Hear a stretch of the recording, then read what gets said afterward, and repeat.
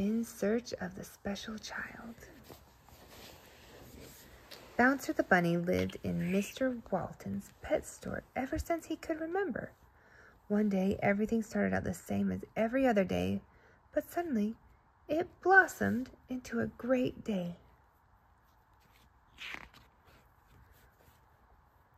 Bouncer was taking a nap when all of a sudden his whiskers twitched and he felt someone watching him. Lazily, he opened just one eye, and there, nose to nose and eye to eye with him, was a little child. Why, this child had the most special smile that Bouncer had ever seen. Now, a funny thing started happening to Bouncer. A wiggly feeling came to his tail, and then a giggly feeling came to his feet, and then a jiggly feeling came to his tummy, and when the corners of his mouth started to turn up, his whiskers actually twiggled. Bouncer was smiling all over. The next morning, after Mr. Walton gave Bouncer his breakfast and cleaned his cage, he forgot to shut the door. Quick as a lick, oh, on a lollipop stick, Bouncer bounced to the floor, out the door, and waved his tail goodbye to Mr. Walton's pet store. I just know what I'll do, Bouncer thought to himself. I'm going to find that special child with the most special smile. And off Bouncer went. Soon Bouncer came to a forest, and there, just in the clearing, sat a bear cub eating juicy red strawberries. He bounced over to the bear cub and, still smiling from head to toe, said, Hello, I'm Bouncer Bunny.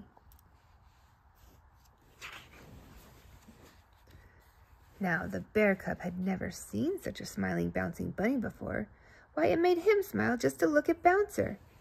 I'm Bibby the bear, he replied. Have a seat right here by me and let me share my berries with you. Bouncer was so hungry he popped almost all the berries into his mouth at once.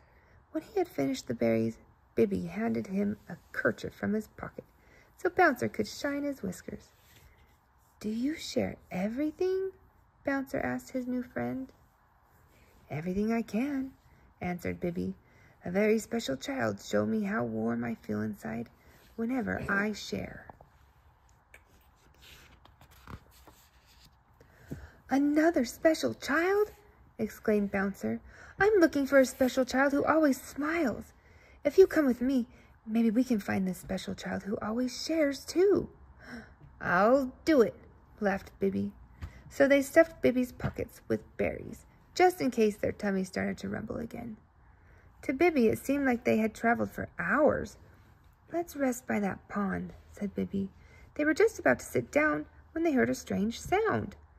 Honk, honk, came the sound again, and there, right in back of them, was a large white goose in a bright pink sunbonnet. Hi, my name is Gabrielle. Just call me Gabby. I'm looking for the owner of these berries that I found strung along around the pond. Aren't they yours?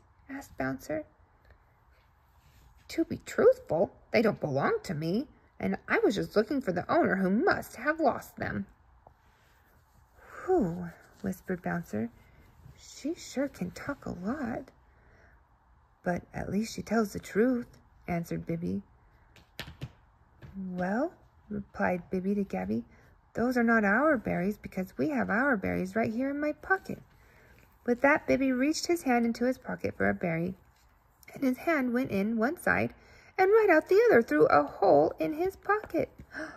Our berries! They're gone! cried Bibby in dismay.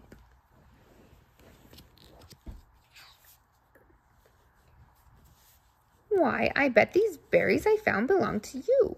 And now I can return these berries to you, and I know I told the truth just like that special child showed me because both Bibby and Bouncer interrupted Gabby at the same time. You mean you saw, a, you know a special child too? Of course I know a special child. Why, this child tells the truth no matter what, just like me. And Bouncer interrupted again and explained that he was looking for a special child who always smiled, and Bibby was looking for a special child who always shared. Bibby excitedly asked Gabby if she would like to join them and look for the special child who always told the truth. Oh, yes, yes. Wouldn't it be wonderful if we could find all three special children? They had not gone far when they saw a small farmhouse. So they started across the meadow in search of the special child. All of a sudden, Gabby stumbled on a big rock and tumbled down, landing right on her beautiful yellow beak. Big tears came to her eyes as she sat on the ground holding her beak. Are you terribly hurt? asked Bouncer and Bibby together. Truthfully, I am, moaned Gabby. Bouncer and Bibby looked at each other, not knowing how to help her.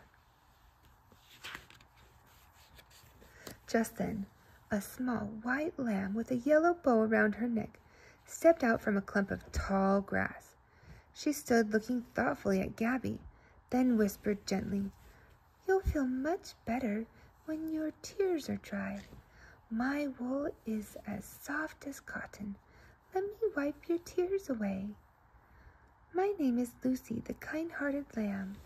That is the nickname my owner gave me because I always show love and I'm kind. I learned that from the special child who lives here. Gabby laughed out loud. Bouncer is looking for a special child who always smiles. Bibby is looking for a special child who always shares. And I'm looking for the special child who always tells the truth. And you have a special child living right here who is kind and loving. Maybe we can meet your special child. Bouncer, Bibby, and Gabby were excited to meet Lucy's special child, so they followed Lucy across the meadow toward the house.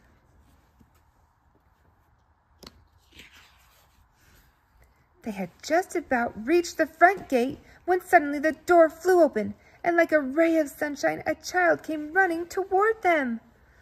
That's my special child, all four friends exclaimed, pointing at the child that had run to meet them.